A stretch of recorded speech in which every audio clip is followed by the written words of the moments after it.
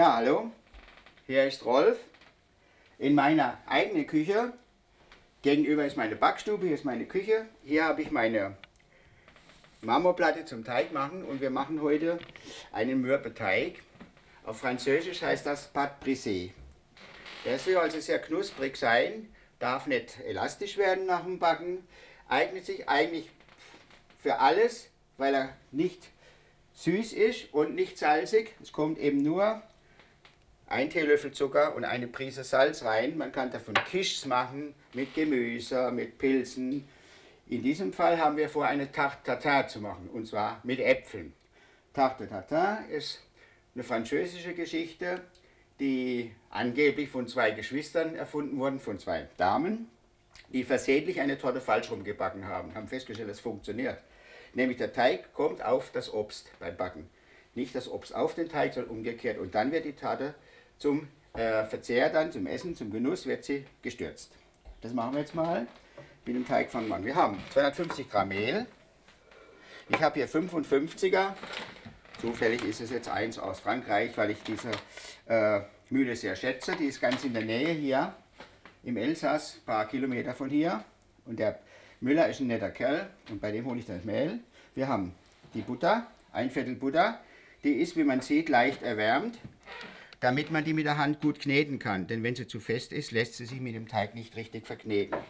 Wir haben unsere Prise Salz und ein Teelöffel Zucker, wie gesagt. Wir haben ein Ei. Da lege ich Wert drauf, dass es immer ein Bio-Ei ist. Also es muss vorne eine 0 stehen oder Maximum eine 1, damit die Qualität auch stimmt. Mehr kann ich nicht kontrollieren. Ich habe etwas Wasser, und zwar Mineralwasser, für den Bedarf, um den Teig eben die nötige Elastizität zu geben. So, wir legen los. Wir machen das Mehl auf die Arbeitsplatte, machen in der Mitte ein schönes Loch, kleinen Vulkan. Jetzt geben wir da rein das Ei. So. Wir geben den Teelöffel Zucker und die Prise Salz dazu.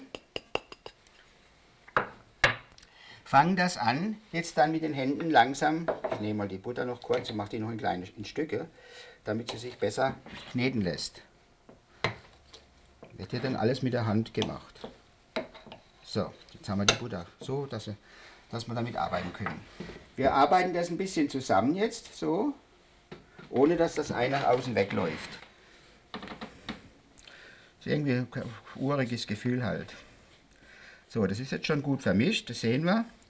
Das Ei, dass das ein bisschen da reingeht.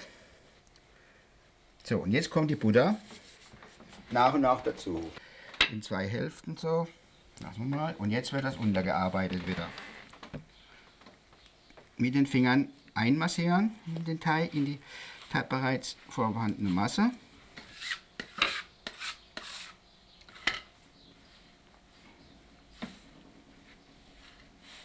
Jetzt nehmen wir die restliche Butter drauf. Jetzt wird das alles wieder nochmal verarbeitet. Und dann sehen wir bei der Konsistenz, ob wir noch ein paar Tropfen Wasser brauchen. Ich lasse jetzt das Eiweiß jetzt dran. Der da kriegt ja so ein paar kleine Bläschen. Der Teig hat ein bisschen eine andere Konsistenz, aber mir gefällt die ganz gut. Aber die französische Urfassung ist eben nur mit dem Eigelb und dann entsprechend ein bisschen mehr Wasser. Also drei bis fünf Minuten muss man den mit der Hand dann schon arbeiten, dass man eine homogene Teigmasse kriegt und eine Kugel dann. Kommt jetzt langsam. Den, den drückt man dann mit dem Handballen so, zieht ein bisschen in die Länge und klappt ihn wieder zusammen. Und das zwei, dreimal nur, sonst wird er wirklich zu warm, denn die Hand überträgt ja die Wärme. Eigentlich ist er jetzt fertig. Machen wir das alles schön zusammen. Formen jetzt eine Kugel von dem Teig. So. Die kommt jetzt in den Kühlschrank für eine halb, gute halbe Stunde. Während jetzt der Teig ja im Kühlschrank ist und die nötige Konsistenz erhält, dass wir den gut auswählen können, machen wir unsere Äpfel. Die Äpfel habe ich geschält, mit dem Ausstecher die Kerngehäuse rausgestochen. Und jetzt schneide ich meine Äpfel so zu, wie ich sie in der Pfanne dann nachher in der karamellisierten Butter dann mit Karamell Karamellmasse reinlege. Dann haben wir drei Scheiben. So. Denn die werden ja nicht in mehreren Schichten reingelegt, die Äpfel, sondern es gibt ja nur eine Schicht. Und das mache ich jetzt. Ich brauche in der Regel für diese Torte hier haben wir unsere Form. Für die brauche ich so vier bis fünf Äpfel, je nach Größe, aber das sind so alles eine Standardgröße. Eigentlich die, das ist normale Größe, brauchen wir vier, fünf Stück. Diese Pfanne nehme ich, ich habe den Stiel komplett weggemacht, weil ich die nur dafür verwende. Denn hier wird ja die Zuckermasse gemacht, die Äpfel kommen rein, Zucker und Butter karamellisiert, die Äpfel kommen rein und bleiben dann drin. Das wird nicht mehr rausgenommen und der Teig wird oben drauf gelegt. Dann so gebacken und am Ende wird die Form umgedreht, wenn der Teig fertig ist. Geben jetzt etwa die gleiche Menge Butter wie Zucker rein. Die Butter und den Zucker dazu etwa die gleiche Menge. Das mache ich so auf dem Handgelenk, das muss nicht ganz genau stimmen. Wichtig ist, dass man das kontrolliert, dass es nicht zu dunkel wird, die Masse. Denn wenn die Karamell zu lange ist und zu dunkel wird, wenn man die zu lange auf der Flamme lässt, dann wird es bitter. Dann schmeckt es nicht mehr. Ich muss diese, die Färbung kontrollieren. Ich habe hier meinen, meinen Kochlöffel, mit dem ich die süßen Sachen mache. Den sollte man jetzt nicht für Sauerteig und Braten verwenden, für, für, für Bratkuchen, für, für Schaschlik oder was. Denn das schmeckt man dann an den Löffel. Ich mag das nicht, wenn man ein Zuckerkochlöffel darf nur für Zucker, für Gebäck verwendet werden. Und nicht für, hinter, für, für Bratwurst zu machen. Das geht nicht. Der riecht danach, das Holz nimmt es ja auf. So, jetzt kommt das langsam. Die Äpfel, die ich hier genommen habe, das sind Elstar gewesen. Die kommen da sehr gut drauf. Ne? Die werden sehr, sehr nett, sehr angenehmen Geschmack und haben die nötige Säure auch damit das Ganze nicht zu pappig süß wird. Als ein Golden Delicious eignet sich nicht dafür. Der ist zu süß. Der Elster hat mehr Säure als der Delicious und ist dadurch besser geeignet, denn das ist ja schon relativ süß mit diesem Karamellmasse. Ne? Jetzt kommt das dann schon. Und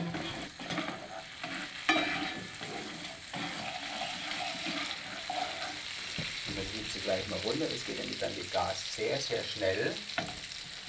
Und dadurch, dass der Zucker, das ist ja Rohrzucker, der ist noch nicht raffiniert, der hat ja schon eine eigene Färbung, geht das ja schneller noch und es hat wesentlich mehr Geschmack als dieser raffinierte Zucker, den man sonst hört. Ich würde immer Rohrzucker nehmen wollen.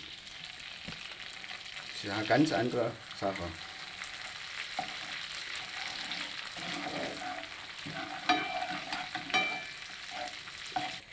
Jetzt versucht man natürlich die Äpfel so nett hier reinzulegen, dass es am Schluss, wenn es rumgedreht wird, halt ein, ein, schöner, ein schöner Eindruck gibt, ein schönes Bild, dass die Torte schick aussieht. Da gibt es wahnsinnige Meister drin. Ich bin nur allenfalls Mittelmaß. Aber ich habe schon tolle Dinger gesehen. Ah, die legen wir jetzt mal so rein. Während die Hitze noch da ist. Aber wenn die warm werden, gehen die ein bisschen zusammen. Jetzt haben wir so ein kleines Muster. Das kann man nehmen und füllen diese Lücken noch auf hier also schick aussieht. Dadurch, dass ich ja die Äpfel reingebe, geht die Temperatur etwas runter. Das verzögert das Ganze, dann kommt auch kein Stress auf, denn sonst wird es sehr, sehr schnell heiß und wird dann eventuell zu dunkel. So, so lassen wir das jetzt. Jetzt geben wir noch einen kurzen Moment, dass er noch ein bisschen mehr Farbe kriegt unten. Ganz am Ende habe ich eine Bio-Zitrone. Die Schale ist zum Verzehr geeignet. Es steht aber drauf, sollte man darauf achten, keine normalen Zitronen, weil die sind ja gewachsen und irgendwas und die habe ich trotzdem etwas gewaschen. Ja. Jetzt nehme ich meinen Ziselierer und ziehe die Schale so ab und mache die da drauf.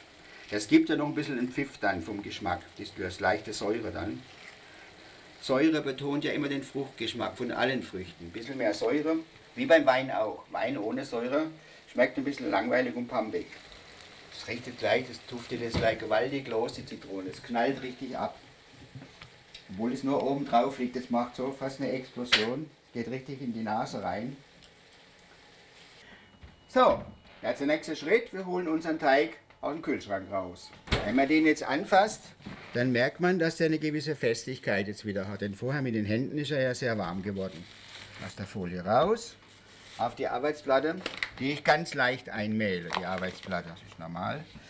Sonst habe ich da ein Problem. Jetzt kommt der Trick. Ich muss ja wissen, wie groß wird denn nun dieser Teig? Und da weiß ich, habe ich halt an meiner Pfanne Maß genommen. Ganz einfach. Ich nehme diesen Deckel.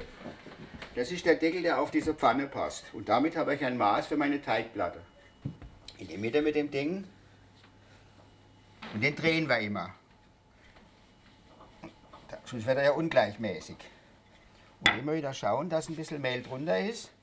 Schon speckt er ja sofort auf dem, selbst auf dem Marmor an. Immer wieder am Viertel drehen, dass ich eine gleichmäßige Steige hinkriege. Ich muss sagen, dieser, diese Geschichte ist nicht ganz so einfach, wie es, sieht vielleicht jetzt auch nicht einfach aus, ist auch nicht einfach. Das Ding darf ja nicht auseinanderbrechen. Jetzt wähle ich das so weit aus, es einigermaßen rund ist. Das ist also eine sehr dünne Teigmasse dann. Ne? Legen wir den Deckel drauf. Fast, reicht noch nicht ganz. So, Deckel drauf. Jetzt nehme ich meinen Teigroller und schneide da an dem Deckel außen rum.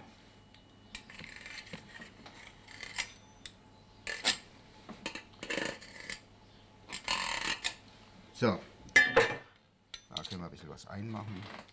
Das backt dann schon zusammen. Jetzt kommt der Trick, ja, er hebt sich gut ab. Die Teigplatte lässt sich holen. Jetzt muss ich meine Äpfel holen und die hier rüber stellen, dass ich die, dass ich die Teigplatte drauf platzieren kann.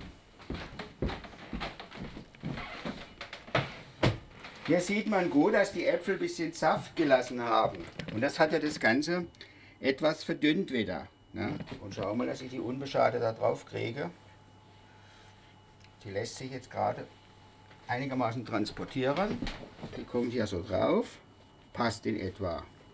Das kann man besser machen, aber es ist nicht einfach besser zu machen. Jetzt nehme ich meine Ränder, die ich abgeschnitten habe und fülle das hier noch ein bisschen auf. Die Äpfel fast so hermetisch ein bisschen einschließen, dass da nicht zu viel äh, Luft rankommt. Dann werden die auch richtig gegart. Jetzt nehme ich eine Gabel und drücke das ein bisschen an hier, so. Damit nicht äh, zu viel Dampf dann entweicht. Da. So, jetzt ist er im Prinzip fertig zum Backen. Wir müssen jetzt nur noch eine Minute, zwei warten, bis der Backofen die richtige Temperatur hat, dann kommt das direkt so rein. So, unsere Tat, die dürfte jetzt fertig sein. Ich habe reingeschaut, die hat die nötige Farbe, der Teig. Wir machen den Herd aus, lassen das Licht noch an hier, dass wir das Ding auch sehen. Backofen auf und da ist sie. Jetzt holen wir das raus. Ist gut heiß alles, das ist klar. So, stellen sie hin. Die lassen wir jetzt ein paar Minuten ruhen, denn wenn ich sie ganz heiß jetzt stürzen würde, würden die Äpfel eventuell zum Teil wegfallen. Also ich muss ein bisschen warten, bis leicht abkühlt. Ganz gut ist auch, wenn man dabei etwas drüber deckt, ein Tuch. Und dann, nach ein paar Minuten, werden wir sie versuchen rauszustürzen. So, jetzt können wir mal die Torte angehen, dass wir die rauskriegen. Das wird, ist immer ein kleines Risiko. Garantie gibt es nicht, dass es funktioniert. Ich schüttel es mal immer so ein bisschen, wenn sie da sich nicht schon bewegt. Versuche sie da ein bisschen zu lösen. Ja, die wird jetzt nicht von alleine kommen. Muss halt den Rand jetzt hier ein bisschen losmachen. Manchmal geht es ganz einfach und ich drehe sie nur ein bisschen und dann kommt sie, dreht sie schon mit. Aber da ich hier ein bisschen nachgebessert habe, hat es einige Sachen ein bisschen dran geklebt. Probieren wir mhm. Hoffentlich klappt es. ist immer so eine Sache. Ich kriege die dann schon wieder hin. Ganz außenrum. Geschmack ist äh, fantastisch. Der wird nicht, wenn sie nicht so perfekt rauskommt, schmeckt sie trotzdem genauso gut. Jetzt legen wir das hier drauf. Ist nicht mehr heiß, das können wir auch so machen. Drehen das jetzt drum. Das ist so runtergefallen. Drehen wir es mal hin und gucken, wie es aussieht. Das ist halt die Überraschung. Oh, nicht ganz. Vielleicht war die Karamell doch nicht dunkel genug, aber wir, kriegen das, wir legen uns das jetzt wieder hin. Schade drum, aber schon das Design schon zerstört. Wenn wir fünf gemacht hätten, wären zwei dabei, die gut sind. Wer das mal probieren will, viel Spaß beim Nachmachen. Es erfordert ein bisschen Übung, aber nach ein paar Mal ist es kein Problem, da gelingt und Geschmack ist auf jeden Fall immer auch beim ersten Mal sehr gut. Der kann nicht daneben gehen, wenn man so macht, wie wir es jetzt gemacht haben. Alle Gastgeber und Rezepte unter www.topfgucker-tv.de